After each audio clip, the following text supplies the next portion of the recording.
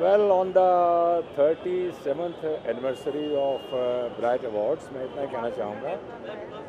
It's a great feeling it's a great achievement actually और Yogesh Lakhani and also the third third award जैसे सब जानते हैं कि योगेश भाई is a man of humbleness बहुत ही साधारण, व्यवहारिक रूप से काम करने वाले हैं। सो ऑब्वियसली जब भी उनका कोई फ़ंक्शन होता है it's always a pleasure to come attend and enjoy with the friends all the best thank you very much